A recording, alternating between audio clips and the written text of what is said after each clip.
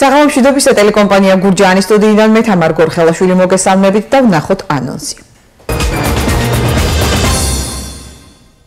პირველი საფუძველი დავეთმორა დატბორილი საცხოვრებელი სახლები და დაზარალებული მოსახლეობა სასოფლო სავარგულებთან ერთად ადიდებულმა მდინარემ დასახლებულ პუნქტებსაც შეუტია. როგორ ებრძვიან სტიქიას ლაგოდეხის სოფლებში და რატომ აკრიტიკებს ნაციონალური მოძრაობა ხელისუფლებას? ხელმძღვანელი პირები უყურებენ თუ როგორ მიაქვს მდინარე ალაზანს წყარი. რაგუშულება ჩვენც არის ძორი დღე რო იყოს უკვე წყალში ვიცურავენ. აგროდაზღვევის დაბალი კულტურა თუ სადაზღვევო კომპანიებისადმი უნდობლობა პრობლემის შედეგები რომელიც სტიქიისგან დაზარალებულმა ფერმერებმა მოიმკეს რატომ არ დააზღვიეს მოსავალი კახეთში. არ ვიცი სად დავაზღვე დღეს ხვალ დღეს ხვალ დავაზღვე მეთქი და ემუქრება თუ არა ადიდებული ხევი კარდენახის მოსახლეობასაც სოფლის მაჟორიტარი დეპუტატი კალაპოტიდან ინერტული მასალის გადანას ითხოვს სულ რაღაც 2-3 საათი დაატოვა ალბათ უკვე გადარღვეულია ქიქით კარდენახის მჭიდროდ დასახლებული უბანის ასმენი წყლის გარეშე, როდის აპირებს ხელისუფლება პრობლემის მოგვარებას. წელს მართლა წვიმაზეც აღარ მოდის წყალი, უკვე რა ხდება არ ვიცი. ვისაც საშუალება აქვს, მანქანით ვეზიდებით, ვისაც არ აქვს საშუალება კიდე რა ვართა ისე. გურჯაანმა რესპუბლიკის დამსახურებულ არტისტ ოპერის თეატრის სოლის მზია დავითაშვილს უმასპინძლა. მე დღეს მინდოდა რომ ყოფილიყო ისეთ რაღაცა უშუალო მაყურებელი და მომღერალი. მონაზვნების ნამუშევრების გამოფენა დედოფლის წყაროში. ეთერშია ტელეკომპანია გურჯაანის მთავარი საინფორმაციო გამოშვება. დადმორილი საცხოვრებელი სახლები და დაზარალებული მოსახლეობა სასოფლო სავარგულებთან ერთად ადიდებულმა მდინარემ დასახლებულ პუნქტებსაც შეუტია. დღეს დილით ლაგოდეხის კიდევ სამი სოფელი, ლელიანი, ანანაური და საქობო დაზარალდა. დადმორილია სახლების პირველი სართულები. ფერმერებს გაუნადგურდათ ვენახები ერთწლიანი და მრავალწლიანი კულტურები. ხელისუფლება ამბობს, რომ ზარალს ითვლის. ნაციონალური მოძრაობა კი მათ უყურადღებობაშია დანაშაულებს. როგორ ებრძვიან სტიქიას ლაგოდეხის სოფლებში და რატომ აკრიტიკებს ნაციონალური მოძრაობა ხელისუფლებას ნინო სამნიაშვილის სიუჟეტიდან შეიტყობ. სტიქიამ დღეს დილით ლაგოდეხის კიდევ სამი სოფელი ლელიანი, ანანური და საქობო დააზარალა. მოსახლეობა საცხოვრებელი სახლების პირველი სართულები ისე დაეთპორა, რომ შეკეთების გარეშე ცხოვრება შეუძლებელია. სტიქიაში მოყვა როგორც ავეჯი და საოჯახო ტექნიკა, ასევე პირუტყვი და შინაური ფრინველი. ჩემი ძალებით გეომეტრიალები შეხედეთ სახლი რა გავს წყალი არის სახლი. კედლებიდან გადმოდის ყველაფერი. რა რა გუშულება ჩვენც არის? ძორი დღე რო იყოს უკვე წყალში ვიცურავებ. თლიანად. ძალიან გაუსაძლის პირობებში ვართ გენაცვალეთ. ჩვენ ძალებით ვერაფერს ვერ უმკლავდებით. ეს პირველი სართულები სულ დაგვეტყორა. ნათესები ვენახები სულ წყალში ცურაობს და რა ვიცი რა საშუალებაც ექნება მთავრობას რომ დაგვეხმაროს მაყოფილები დარჩებით. იგივე პროდუქტი ქონა, შენახული ქონა, დაფხული ქონა, ის ქონა, ეს ქონა, საკვები ქონა, სულ და ააფუჭა ყველაფერი რა.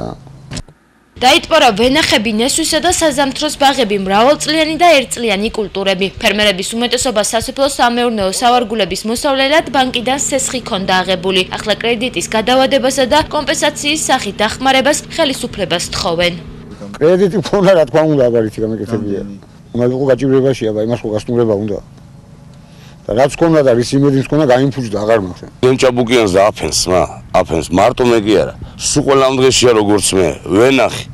ეს ლობიოს იმედი ძმა თუ რამე გაკეთებულია სულ ყველაფერი ესე გაფუჭებული და წყალში დგია ხედავთ თქვენ თავად. და როგორ უნდა დაგვეხმაროს? მარტო ჩვენ კი არა. ყველა იქ ჩვენზე ვარის მდგომარეობაშიც არიან მოსახლეობა. თვითონ ოჯახში რო შეხვიდეთ ნახავთ. ლაგოდეხში გაწმენდითი სამუშაოები უკვე დაიწყო. ადგილობრივი ხელისუფლების ინფორმაციით კომისია სტიქიის ზარალს ითვლის. მობილიზებულია სრულად ადგილობრივი ტექნიკა, თან ხედავთ რომ ამჟამადაც მუშაობს. ბევრი ვიცით ადამიანს რომ დაზღვეული აქვს ნაკვეთები და შესაბამისად აი ან უნაზღაურებს სადაზღვეო კომპანია იმ ზარალს და დანარჩენს ადგილზე შევისწავლით სიტუაციას. ნაციონალური მოძრაობა კი ხელისუფლებას უყურადღებობაში ადანაშაულებს მათი ინფორმაციით სახელმწიფო დაზარალებულების დასახმარებლად რეაგირებას არ ახდენს. ზარალის დამთვლელი კომისია მათაც შექმნეს ახმეტესა და ლაგოდეხის მუნიციპალიტეტებში მონაცემების შეგროვებას და ადგილობრივი ხელისუფლებისთვის მასალების მიწოდებას აპირებენ.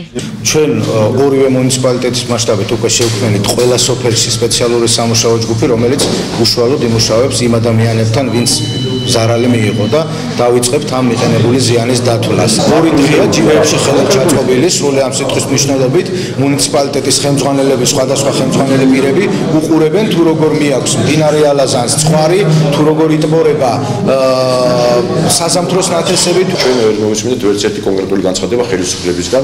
მე მოუწოდებ ხელისუფლებას გამოვიდეს იგეთივე შემართებით როგორც 2012 წლის სტიქიის დროს იყვნენ ისინი და ისეთ რაღაც სუპერდარიგებს იძლეოდნენ ვითომ მაშინ გამოვიდნენ კონკრეტულ კონკრეტული განცხადება რას თავაზობენ მოსახლეობას რითი ეხმარებიან სინოპტიკოსების პროგნოზით ხვალიდან გამოიდარებს ამ ორი დღის განმავლობაში კი სტიქიამ ახმეტესა და ლაგოდეხის მუნიციპალიტეტებში მოსახლეობას სახლები და სასოფლო სამეურნეო სავარგულები დაუტბორა. აუნაზღაურებენ თუ არა დაზარალებულებს ზარალის კომპენსაციის სახით, ამის შესახებ ინფორმაცია ადგილობრივ ხელისუფლებას ჯერ არ აქვს. ინფორმირებულობის პრობლემა თუ აგროდაზღვევის დაბალი კულტურა. სტიქიის შედეგად დაზარალებული ფერმერების უმრავლესობას მოსავალი დაზღვეული არ ქონდა არადა. უკვე ცნობილია, რომ კომპანიები ზარალს აანაზღაურებენ. როგორც ირკვევა მოსახლეობის ნაწილს დაზღვევის შესახებ ინფორმაცია არ აქვს, რასაც გურჯანში სოფლის მეურნეობის სამინისტროს წარმომადგენელი არ ეთანხმება. რატომ არ დააზღვიეს მოსავალი კახეთში თემაზე ერთ-ერთრაძე მუშაობდა. დღეს ხვალ დღეს ხვალ დავაზღვე მეთქი და ხვალინდელი დღის იმედით კახეთში დაზღვევის გარეშე ბევრი ფერმერი დარჩა. მათ კი ვინც იჩქარა და მოსავალი დროულად დააზღვია გაუმართლა. უკვე ცნობილია რომ კომპანიები ზარალს აანაზღაურებენ. დაზღვეული მაქვს მოვიდნენ სადაზღვეო კომპანიიდან და მითხეს აგინაზღაურდებათ 100%-ით. ალდაკში მაქვს დაზღვეული. 8000 მეტრო 80 მიასე აგროდაზღვევის სახელმწიფო პროგრამა საქართველოში 2014 წლის 1 სექტემბრიდან ამოქმედდა. პროექტის სახელმწიფოს 70-90%-იან თანადაფინანსებას ითვალისწინებს როგორც აღმოჩნდა მოსახლეობის ნაწილს ამის შესახებ ინფორმაცია არ აქვს. ნაწილმა კი დაზღვევაზე ფიქრი მას შემდეგ დაიწყო რაც წელს სტიქიამ კიდევ ერთხელ დააზარალა ისინი მაგ მოსავალი ნახევარი ჰექტარი ადგილი მაქვს ვენახი. მაგრამ არ ვიცი სად უნდა ვაზღვი ანის ანის ან თქვაში მამდის არ მამდის. ხონდა ვიცოდი აფერე. მაგ საშუალება რომ დავაზღვი პროგრამა შეიძლება ძალიან კარგია მაგრამ ჩვენ ვერა ვართ მისულები იქამდე. ესენ წინასწარ გვახტენებენ რაღაცებს ჯერო არ ვიცით ჯერ დაგვარწმუნე რომ აი ის კარგი პროგრამაა და გავაგზავნებთ იმ პროგრამაი. ძალიან კარგი პროექტია და მე ვერ მოვასწარი კიდევ გითხარით ახლა და აუცილებლად მე დავაზღო მე მაქვს საფერავი ვენახი და მაქვს ატომის ყველანაირი ჯიში გაშენებული. ხო და მე აუცილებლად მე დავაზღო ატომსაც და ვენახსაც დავაზღო საფერავი ვენახს. და რა ვიცი მე მგონი თუ კი ჯერ ღმერთ მაქნას არაფერი მოძდა თუ ანაზღაურდება და მე რაღაც ის სტიქების გამო ხალხი ძალიან შეღავათი იქნება. რახამ სახელმწიფო პროგრამა იყო მაგეგულიცი დავაზღვიეთ თითქმის 80%-მა სოფლისა ყველამ დააზღვია თუმცა გადასახადი იყო ცოტა სახელმწიფო იხდის. ჩვენ ვიხდით რაღაც 0.5% გურჯაანში სოფლის მეურნეობის სამინისტროს წარმომადგენელი ამბობს, რომ დაზღვევის შესახებ მოსახლეობას ინფორმაციაც ჰქონდა და ამაში მათთან ერთად სადაზღვეო კომპანიებმაც იაქტიურეს. თუმცა ერთ-ერთ მიზეზად ის მოსახლეობის დაზღვევისადმი გულგრილ დამოკიდებულებას ასახელებს. არც ერთ ქვეყნებში მე ვფიქრობ, რომ ასეთი დიდი წილი სახელმწიფოსი დაზღვევის დროს არ არის 90-95%. და ჩვენთან არის. ამიტომ ხალხი ჯერჯერობით კიდევ იქამდე ვერ არის მისული აუცილებელია დაზღვევა. მე ვთხოვ რომ უკვე ახალი ცხოვრება შეეგუნენ. ეხლა მათ უპრობლემოდ ძალიან პატარა თანხების საფასურად მიიღებდნენ ძალიან დიდ თანხებს. აგროდაზღვევის სახელმწიფო პროგრამის ფარგლებში კი ფერმერებს მოსავლის დაზღვევა სეტყვაზე, ჭარბნალექსზე, ქარიშხალსა და საშემოდგომო ყინვაზე შეუძლიათ. ამისათვის მათ მხოლოდ სადაზღვევო კომპანიებს უნდა მიმართონ. დღის განმავლობაში მოძრაობა შეფერხებული იყო დღეს ლაგოდეხი წნოლის დამაკავშირებელ ცენტრალურ გზაზეც. დინარე ალაზანი ადიდების შედეგად კალაპოტიდან გადმოვიდა და სავალი ნაწილი დატბორა. ადგილზე საპატრულო პოლიცია იყო მობილიზებული. პრიზონე მოიმოწო და ვერ გავალ, ვერ გავალ, ფიქრო ვერ გავალ, მანქანა არ ჩაქრეს ხალხში. ალაზანი არის ადიდებული, დარგებული სამბაისუნელას და მას გადასაღებული. მათემ ამჯერად კარდენახი დაინდო, თუმცა სოფლის მაჟორიტარი დეპუტატი სიმონ ქოჩორაშვილის განცხადებით ხევი თუ არ გაიწმინდა, დიდი წვიმების შემდეგ მიმდებარე ტერიტორიაზე მოსახლეობის სასოფლო-სამეურნეო სავარგულებს საფრთხე დაემუქრება. ის გარემოს დაცვის სამინისტროსგან ტექნიკით დახმარებას ითხოვს. მისივე თქმით, ხევიდან ამოღებული ინერტული მასალით სოფლის გზების შეკეთება შეიძლება. ეს მოთხოვნა დეპუტატმა ერთი კვირის წინ საკრებულო სესიასაც დააყენა, თუმცა როგორც თავად ამბობს, უშედეგოდ. ეს ადამიანები აქ ვინც ცხოვრობს ამ სოფელში, აი ამის გარშემო რაც სავარგულებია, ამით არსებობენ და ამით სუნთქავენ და ამით ცოცხლობენ. ოჯახებს ამით ინახავენ. ეს რო გადავარდეს, აი სულ რაღაც 2-3 საათი დააკლდა, ალბათ უკვე გადარღვეულია ქიქით. ხედავ თქვენ, დაყოფილი უარი, გადარღვეულია და უკვე ვენახებში მიდიოდა უკვე წყალი ფაქტიურად ღმერთმა გადაგვარჩინა რომ აქ უნდა მოხდეს მობილიზება ტექნიკის რომელიც ამას გაწმენდავს გაასუფთავებს დააკეთებს მისეს მისემს ამას კალაპოც და აქედან ამოღებული ინერტული მასალის გამოყენება შეიძლება და უკეთესად და კარგად კარდენახის მჭიდროდ დასახლებული უბანის ასმენი წყლის გარეშე, როდის აპირებს ხელისუფლება პრობლემის მოგვარებას. წელს მართლა წვიმაზეც აღარ მოდის წყალი, უკვე რა ხდება არ ვიცი. ვისაც საშუალება აქვს, მანქანით ვეზიდებით, ვისაც არ აქვს საშუალება კიდე რა ვართ აი ეს. გურჯაანმა რესპუბლიკის დამსახურებულ არტისტ ოპერის თეატრის სოლის მზია დავითაშვილს უმასპინძლა. მე დღეს მინდოდა რომ ყოფილიყო ისეთ რაღაც უშუალო მაყურებელი და მომღერალი. მონაზვნების ნამუშევრების გამოფენა დედოფლის წყაროში. კაბელნახში კიდევ ერთი პრობლემა წყალია. უბანში სადაც 65 ოჯახი ცხოვრობს, მხოლოდ ერთი საერთო ონკანია, რომელზეც წყალი იშვიათად მოდის და ისიც დავახიანია.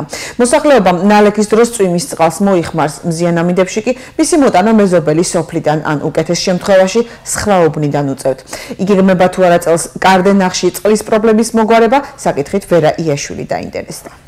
აი ამ დალევა თუ შეიძლება რა თუ თვითონა სავე ჩვენ ეგრეთ წოდებული მუშების უბანში სადაც 65 კომლი ცხოვრობს მოსახლეობა წყლის პრობლემაზე საუბრობს. უბანში მხოლოდ ერთი საერთო ონკანია და აქაც წყალი იშვიათად მოდის. ამბობენ რომ წლებია მათ სახლში წყალი არ ქონია და ამ ერთადერთ ონკანზეც ტალახიანი წყლის აღება უწევთ. აი შარშან მაგალითად ცისტერნებით მოქონდა წყალი. და იმაზეც იყო მართლა გადავეკიდეთ უბანი ერთმანეთს და უკვე ვიცი რომ წელს მართლა წვიმაზეც აღარ მოდის წყალი უკვე რა ხდება არ ვიცი წყალი თუდად მოდის ძალიან როცა წვიმას წვიმს მაშინ ბევრი მოდის როცა გვალვა ცოტა მზეები გამოვა მაშინ კიდე ცოტა მოდის. მეზობლები ლამის ერთმანეთს წავეკიდნოთ არა ჯერმე გავავსო ჯერმე გავავსო იძახიან. დაპირებები არის ხოლმე არჩევნებზე წყალი ექნებაო. ხო ყოველთვის ესია რა ვიცი თქვენ თქვენც იცით და სულ ყველა მიცით ყოველთვის ყოველ წელიწადს გამოიყოფა ხოლმე კარდენახზე რაღაცა თანხა. რო წყალი უნდა გაკეთდეს. სათავეს აკეთებენ, აქ ჩვენ სათავე აქ წყალი ვერ აღღებულობდა. სათავეში რას აკეთებენ, რას არა, წყალი ვერ აღღებულო. არ გვინდა სახლებში სათითაო კრანები, ოღონდ აი საუბნო იყოს, რომ დასალევი წყალი და სახმარი წყალი აიღოს სუფთა ის.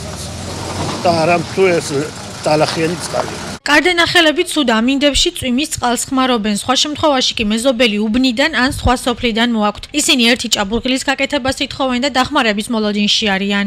წყალი რომ არა გვაქვს ფილვეგერ ვერ ვიზოთ ბოთლებითაც ვერ იყოს წვიმა რომ მოდის წვიმის მადლით ეგემას ავავსებთ ხოლმე და ამ წყალს ხმარობთ სულ ყველაფერში. რაც ეს ახალი სისტემა დააყენეს ახალი ონკანები აბსოლუტურად ეს წვიმებზე თუ მოვა თითო ოჯახი თუ 20 ლიტრის რაღაცნაირად ამ ღურიე წყალსაც აიღებს.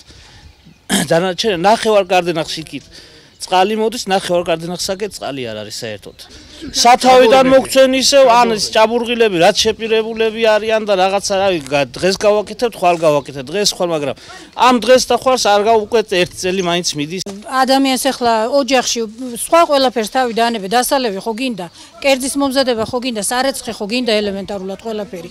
დასალევად კიდე აი ღმერთის მადლით წყალობას წყალი გვაქვს აიგ და მოწანწკარებს რაღაცა და თითო ბოთლობით რაღაცა ხდება ეგა მანქანებით ვისაც საშუალება აქვს მანქანით ვეზიდებით ვისაც არ აქვს საშუალება კიდე რა ვართ აი ეს გამგებლის წარმომადგენლის ალექსანდრე ტურიაშვილის ინფორმაციით ეგრეთ წოდებული ძველი მუშების უბანში წელს იგეგმება ჭაბურღილის გაკეთება რომელიც არა მარტო ამ უბანს არამედ მეზობელი ორი უბნის მოსახლეობასაც მოუგვარებს პრობლემას. პროექტი დამტკიცებულია და მხოლოდ ტენდერის გამოცხადებას ელოდებიან 450-მდე კომლი უზრუნველყოფილი იქნება წყალდიდობის შემთხვევაშიაც და გვალვის შემთხვევაშიაც. ანუ ჭაბურღილიდან უპრობლემოდ მიეწოდება მოსახლეობას წყალი და ეს არის 2015 წლის პროექტი. პროექტი მზადების პერიოდშია. ცოტა ხანში დაიდება ტენდერზე, ტენდერში გამარჯვებული ფირმა წამოიწყებს მაგურ უნიკალურ პროექტს. მაგუბნებს კონკრეტულად პრობლემები მოეცნება. თლა უნიკალური პროექტია, ინდივიდუალურად ყველა ოჯახში გავა, სათითაო ონკანი ექნება ყველა ოჯახს თავისი საკუთარი. სამუშაოებზე 260.000 ლარი დაიხარჯება, თუმცა ამით კარდენახში წყლის პრობლემა სრულად არ მოგვარდება და ამჯერად მხოლოდ მოსახლეობის 80% იქნება უზრუნველყოფილი. გურჯაანმა რესპუბლიკის დამსახურებულ არტისტს ოპერის თეატრის სოლისტ ზია დავითაშვილს უმასპინძლა. მისი ოპერის თეატრში მოღვაწეობის 35 წლის თავისუფლ მიწვლის შემოქმედებითი საღამოს ამუსიკოს სკოლის დარბაზში გამგეობის კულტურის სამსახურისა და სამუსიკო სკოლების გაერთიანების მხარდაჭერით გამართა. ზია დავითაშვილი წარმოშობით ვაზისუბდან ვაზისუბნიდანაა მას 2013 წელს გურჯაანის საპატიო მოქალაქის წოდება მიენიჭა. კონცერტს მისი ნიჭის თაყვანისმცემლები დაესწრნენ. დღევანდელი დღე რა თქმა უნდა ჩემთვის ძალიან მნიშვნელოვანია. ჯერეთი ჩემ რაიონში ვარ, ძალიან მიხარია. მე აქ დაბადებული ვარ გურჯანის რაიონის სოფელ ვაზისუბანში და ყოველთვის ასეთ საღამოს მიკეთებენ. მე მახსოვს რომ აი 10 წელი უკან მქონდა არაჩვეულებრივი საღამო კულტურის ცენტრში, მაგრამ მე დღეს მინდოდა რომ ყოფილიყო ისეთ რაღაცა უშუალო მაყურებელი და მომღერალი და ასე გადავწყვიტე რომ მუსიკალურ სკოლაში ჩავარდეს ეს დღევანდელი საღამო. ქალბატონი მზეა დავითაშვილი ვიცით არის უდიდესი დამსახურების ადამიანი ოპერის სოლისტი. ჩვენი თანამემამულე და გადავწყვიტეთ რომ წელწადნახევრის წინ ავირჩიეთ გურჯანის საპატიო მოქალაქედ და გადავწყვიტეთ მოუწყოთ შემოქმედებითი საღამო იმისთვის რომ არ დავივიწყოთ არც ჩვენ არც ჩვენმა მომავალმა თაობამ მისი ღვაწლი დამსახურება ხელოვნებაში. ქალბატონი ისი არის ნიჭით რო იყო დაჯილდოებული უფლისგან. უძირფასესი ხმა თვითონ პიროვნება და თან ოჯახი. ფოლკლორული ანსამბლ ჰანგების მორიგი წარმატება. კლასიკური მუსიკის მეოთხე საერთაშორისო კონკურსზე კულტურის ცენტრთან არსებული ანსამბლი ნომინაციაში წარმატებული დებიუტი საუკეთესო საშემსრულებლო ოსტატობისთვის დიპლომით დაჯილდოვდა და ლაურეატის წოდება მიენიჭა. ფესტივალის სახელწოდებით მომავლის ვარსკვლავები 2015 საქართველოს ხელოვანთა კავშირის მხარდაჭერით თბილისის კონსერვატორიაში გამართა.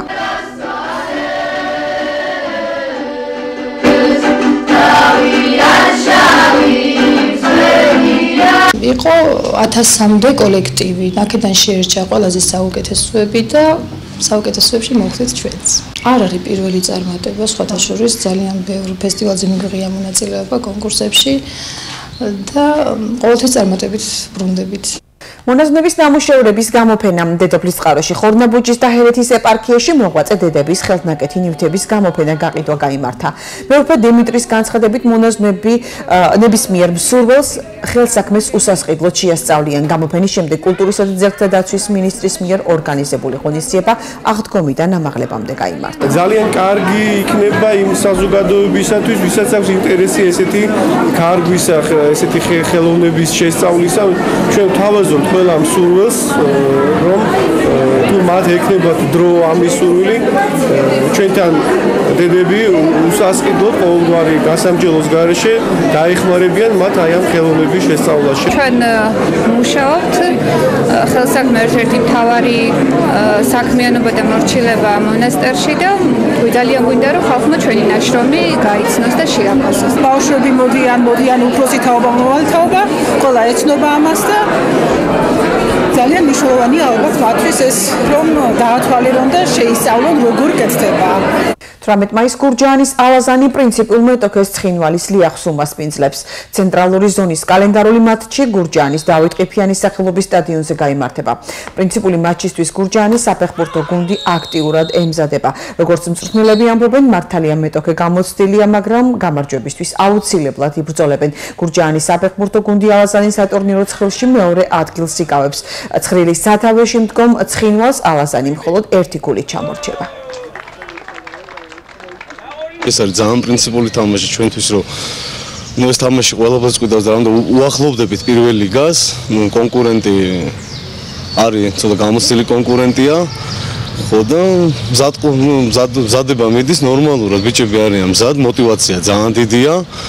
ну ნახოთ ყველაფერი გვაჩვენებს მინდორზე როგორი იქნება და რა იქნება, მაგრამ мотивация ბიჭებს ძალიან დიდი მაღალი мотивაციაა და ყველაფერი მზადდებით ძალიან სერიოზულად. გამოშვებას რეგიონს გარეთ განვითარებული მოვლენებით განვაგრძობთ, რომელსაც თამარ ჭანყუშვილი გაგვაცნობს. მოგესალმებით და იმ ძირითად მოვლენებს გაგაცნობთ, რაც დღეს რეგიონს გარეთ ვითარდებოდა. საქართველოს მთავრობამ საკანონმდებლო ცვლილებათა პაკეტი დაამტკიცა, რომელიც პროკურატურის რეფორმას ითვალისწინებს. პროკურატურის შესახებ კანონის გარდა ცვლილებები შედის საქართველოს სისხლის სამართლის კოდექსსა და საქართველოს მთავრობის სტრუქტურის უფლებამოსილებისა და საქმიანობის წესის შესახებ კანონშიც. პრემიერ-მინისტრის განცხადებით აღნიშნული სტრუქტურების რეფორმები ქართული ოცნების წინასაარჩევნო დაპირება იყო. მივესალმ ახალ მინისტრებს კალოთენ თინას, ბატონ გიგლას და ბატონ დარიოს. გისურვ წარმატებები. დღეს გვაქვს რამდენიმე მნიშვნელოვანი საკითხი თავრობის თემაზე, ეს არის პირველი პროკურატურის რეფორმა, რომელსაც კალოთენ თია წარმოადგენს, მეორე არის შინაგან საქმეთა სამინისტროს რეფორმა. ჩვენ ეს ორი კანონპროექტი უნდა გადავაგზავნოთ პარლამენტში და შემდეგ დაიწყება აქტიური განხილვები. ეს არის ძალიან მნიშვნელოვანი რეფორმა, რომელიც იყო ჩვენი დანაპირები წინასაარჩევნო საქართველოს თავდაცვის მინისტრმა თინა ხიდაშელმა სამი მოადგილე წარადგინა. ფინანსთა მინისტრის ყოფილი მოადგილე დავით ებრალიძე თავდაცვის მინისტრის პირველ მოადგილედ დაინიშნა. მოადგილეებად დაინიშნენ ახალგაზრდა იურისტთა ასოციაციის ყოფილი თავმჯდომარე ანა დოლიძე და იურისტი ბესიკ ლოლაძე. ამავდროულად ბესიკ ლოლაძე თავდაცვის სამინისტროს საპარლამენტო მდივანიც იქნება. ჩემი პირველი მოადგილე იქნება დავით ებრალიძე, ბატონ დავითი გახდათ ფინანსთა მინისტრის მოადგილე ჩვენი ხელისუფლებაში მოსვლის შემდეგ. ამის გარდა მანამდე ისრაელის წლის განმავლობაში იყო ენერგოომბუდსმენი და აქვს მოუწოდებელი გამოსვლება კონტროლის პალატაში მუშაობის შესაბამისად მისი ამ პროფესიული გამოცდილებიდან გამომდინარე იგი უხელმძღვანელობს და ჩაიბარებს ძირითადად ფინანსების ლოჯისტიკის შესყიდვების სამინისტროში მართვასთან დაკავშირებულ მიმართულებებს. თავდაცვის საპარლამენტო მდივანი, რომელთაც თქვენ უნდაოსობას ხშირად მოიწევს ურთიერთობა უკვე ქუთაისში შესაბამისად. იქნება ბატონი ბესოლოლაძე, ბატონი ბესო გახლავთ პოტსდამის უნივერსიტეტის დოქტორი, ის რამდენიმე კვირა არის დაბრუნდა საქართველოში. მანამდე გახლავთ საქართველოს საკონსტიტუციო სასამართლოს წევრი, იუსტიციის მინისტრის მოადგილე და სახელმწიფო სამსახურში მუშაობის დიდი გამოცდილება აქვს. მესამე მოადგილე გახლავთ ქალბატონი ანა დოლიძე, ანა ალბათ ყველაზე უკეთ იცნობთ, იცნობს მედია და ჩვენი საზოგადოება. ორმხრივი თანამშრომლობის საკითხები განიხილეს საქართველოს ფინანსთა მინისტრ ნოდარ ხადურსა და იაპონიის ფინანსთა სახელმწიფო მინისტრ იშუ სუგავარასთან გამართულ შეხვედრაზე ფინანსთა მინისტრმა სტუმარს მადლობა გადაუხადა იმ საგრანტო დახმარებისთვის, რომელსაც იაპონიის მთავრობა ყოველწლიურად უწევს საქართველოს მთავრობას იაპონიის არასაპროექტო საგრანტო პროგრამის ფარგლებში. საუბარი შეეხო იაპონიის საერთაშორისო თანამშრომლობის სააგენტოს მიერ საქართველოში დაფინანსებული პროექტების მიმდინარეობას და სამომავლო თანამშრომლობის საკითხებს. 2007 წელს 4 ქალაქში ჩატარებული კვლევის მიხედვით ქუჩაში მცხოვრები ან მომუშავე ბავშვების რაოდენობა 1500-ია. მას შემდეგ კვლევა არ ჩატარებულა. ახალი პროგრამის ამოქმედების შემდეგ სხვადასხვა სახის დახმარება თბილისსა და ქუთაისში 700-ზე მეტ ბავშვს გაეწია. სპეციალისტები გურჩევენ, რომ ასეთი ბავშვების დასახმარებლად საუკეთესო გზა მათთვის არა ხურდაფულის მიცემა, არამედ ცხელ ხაზზე დარეკვა. თურა სერვისებს თავაზობს ქუჩაში მყოფ ბავშვებს სახელმწიფო ამას ჩვენი სიუჟეტიდან შეიტყობთ. თუ თქვენ ქუჩაში ბავშვს ნახავთ, რომელიც ფულად დახმარებას ითხოვს, ან ტროტუარზე ძინავს, სპეციალურ ნომერზე დარეკვის შემთხვევაში მას შესაბამის დახმარებას აღმოუჩენენ. ევროკავშირთან ასოციაციების ხელშეკრულების ფარგლებში რა თქმა უნდა მიმდინარეობს აქტიური მუშაობა მოწყვლადი ჯგუფების მიმართ მათ შორის ბავშვთა ძალადობის პროგრამის ფარგლებშიც და შესაბამისად სწორედ აი ამ ბავშვთა მიმართ ძალადობის ნაწილს ესადაგება ჩვენი ეს მიუსაფრ ბავშვთა თავშესაფრით უზრუნველყოფის პროგრამა. საფეხურზე ჯერ მობილური სამსახურის ფარგლებში ხდება ბავშვებთან პირველადი ურთიერთობის დამყარებანდობის მოპოვება, სადაც ამშვენებენ ბავშვებს ვაწვდით ინფორმაციას არსებული მომსახურებების შესახებ. და შემდგომ უკვე ხდება მათი სურვილის შემთხვევაში ეტაპობრივად ამ ბავშვების ჩართვა დღის ცენტრის მომსახურებაში, კრიზისული ინტერვენციის თავშესაფრის მომსახურებაში თუ ტრანზიტულ მომსახურებაში. ეს ერთ-ერთი დღის ცენტრია. აქ 30-მდე ბავშვი სხვადასხვა სახის დახმარებას იღებს. მაია მგელიაშვილის თქმით, ბავშვების ქუჩიდან მოწყობა რთულია. დღის განმავლობაში ბავშვებს აქვთ საშუალება დაკავდნენ სხვადასხვა საგანმანათლებლო ღონისძიებები და ასევე ჩვენ გვაქვს ინტენსიური ფსიქოსარეაბილიტაციო კურსი. ფსიქოლოგთან და სოციალურ მუშაკთან ერთად ხდება მათი მომსახურების ინდივიდუალური გეგმის განსაზღვრა. რაღაცა გარკვეული დროის შემდეგ, როცა ბავშვი ეჩვევა უკვე ქუჩაში ყოფნას, მისთვის ეს ხდება ცხოვრების წესი და მიუხედავად მიუხედავად იმისა, რომ შეიძლება ხედავდეს კიდეც სხვა პოზიტიურ ალტერნატივას, ძალიან ძნელია მასში ამ ფაქტორის დაძლევა. ორი ის ცენტრის პრობლემა თითქმის არ დგას. მოდიან ბავშვები ათგარკოლ მოსაყრობას მიიღებენ და ისევ მიდიან. სულ კრიზისულსაც შეეხება ან ბავშვის დასტაბილურება აქაც სირთულებთან ერთად დაკავშირებული. განსაკუთრებით ეს სირთულები არის აზერბაიჯანი და გადმოსულ ქურთერონების ბავშვებთან, რომელიც თლიანად ოჯახის და მათი მთელი საგვარეულოს წესი, ცხოვრების წესია მათი და ძალიან უჭერთ ესეთ სტაბილურ გარემოში ცხოვრება. ქუჩაში მცხოვრები და მომუშავე ბავშვების პრობლემა დღემდე ევროპაშიც მოუგვარებელია. ბორის იარუშევიჩი ამბობს, რომ ამ პრობლემის მოსაგვარებლად საჭირო პროგრამების დაფინანსებას მომავალშიც გააგრძელებენ. problem for ქუჩაში მცხოვრები ბავშვების პრობლემა ევროპის ბევრ ქვეყანას აქვს. ევროკავშირი ბავშვების დასახმარებლად სახელმწიფო პროგრამაში ჩაერთო. ჩვენი სურვილია ევროპული გამოცდილების გაზიარება. ჩვენ მომავალშიც გავაგრძელებთ თანამშრომლობას და მხარდაჭერას, რადგან ქუჩაში ბავშვები არ უნდა ცხოვრობდნენ. ბავშვთა დასახმარებლად ამოქმედებული მობილური ჯგუფების მუშაობას აფასებენ ფსიქოლოგებიც. ირმა ყვაჭაძე უფრო აქტიური ნაბიჯების აუცილებლობაზე საუბრობს. ქუჩაში ბავშვების არსებობა ხელსაყრელი ან ბავშვების ოჯახისთვის ან თავად ბავშვებისთვის, იმიტომ რომ რაღაცას არიდებენ თავს ან სწავლას ან რაღაცას. ნუ უმეტეს შემთხვევაში არის თქმა უნდა გამონაკლისიც, როდესაც გარდავალი მდგომარეობა და აქვთ ის ფუნქციური ოჯახი ან შეუსაძლისი მდგომარეობა ოჯახში, თუ არ იქნა თვითონ ოჯახების, თვითონ ბავშვთა განათლების, სოციალური მდგომარეობის, ბევრი სხვა ფაქტორის, ანუ ეკონომიკური მდგომარეობის და ამ შემდეგ ამ ყველაფრის მოწესრიგება, ნუ თვითონ ბავშვების თემა ნაკლებად შედეგიანი იქნება. პრობლემა საკმაოდ კომპლექსურია. მარტო ესეთი ცალკეული ინტერვენცია ბუნებრივია საკმარისი არ არის, მაგრამ არსებითი რიგი პროგრამები სოციალურ მომსახურების პარაგრაფში, რომელშიც ვახდენთ ამ ოჯახების თუ ბავშვების გადამემსამართებას, იმ საჭიროებებიდან გამომდინარე ის იდენტიფიცირებაც ხდება. 2007 წელს 4 ქალაქს ჩატარებული კვლევის მიხედვით, ქუჩაში მცხოვრები ან მომუშავე ბავშვების რაოდენობა 1500-ია. მან შემდეგ კვლევა არ ჩატარებულა. ახალი პროგრამის ამოქმედების შემდეგ სხვადასხვა სახის დახმარება თბილისსა და ქუთაისში 700-ზე მეტ ბავშვს გაეწია. ასეთი იყო დღეს რეგიონის გარეთ განვითარებული მოვლენები მე გემშვიდობებით ნახვამდის. 23 წლის ახალგაზრდამ პლასტიკურ ოპერაციებში 150000 დოლარი დახარჯა. გერმანელმა ფოტოგრაფმა ჩაძირული ვერტფრენები აღმოაჩინა. გამოშვებას უცხოეთის ამბებით განვაგრძობთ.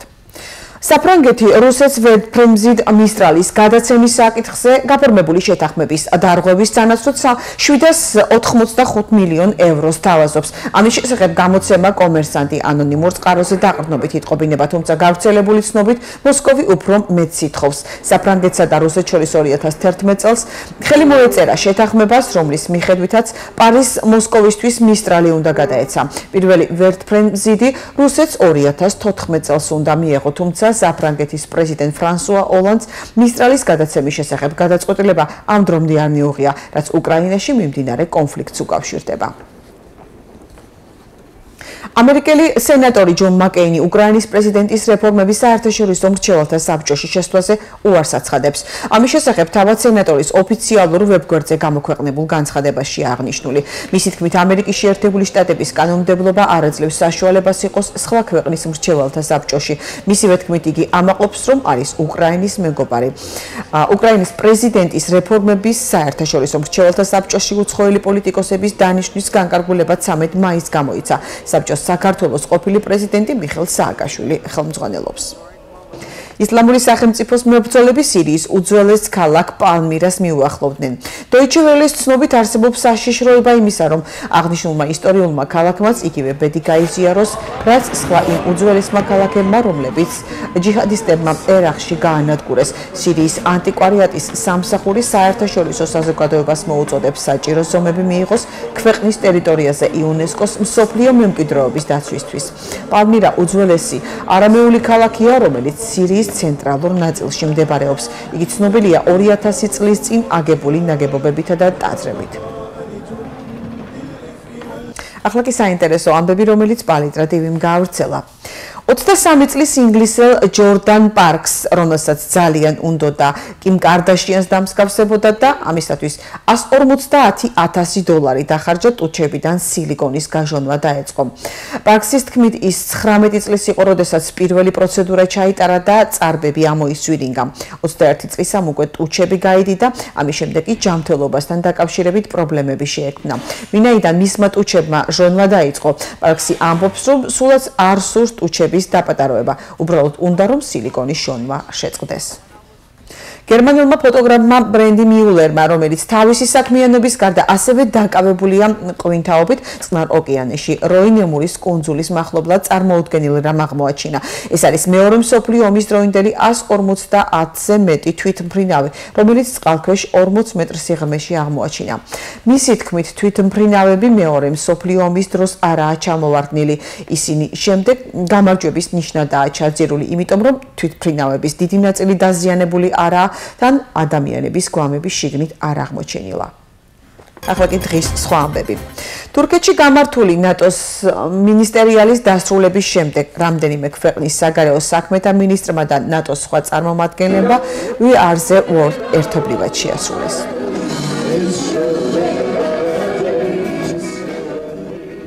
25 სექტემბერს კინოთეატრებში ნენსი მაიერსის კომედია ზე ინტერნი გამოვა, სადაც მთავარობებს რობერტ დე ნირო, ენ ჰეთევეი, ნეტ ვოლფი, ადამ დევაინი, რენე რუსო და სხვები ასრულებენ. 70 წლის ქრივი ბენ უიტეკერი აღმოაჩენს, რომ პენსიაზე გასვლა არც ისე ახალისოა, ამიტომაც გადაწყვეტს კიდევ სცადოს ბედი და ონლაინ ფეშენ საიტზე სტაჟიორად მოეწყობა. ახლა კი ნახოთ როგორი ამინდი იქნება ხვალ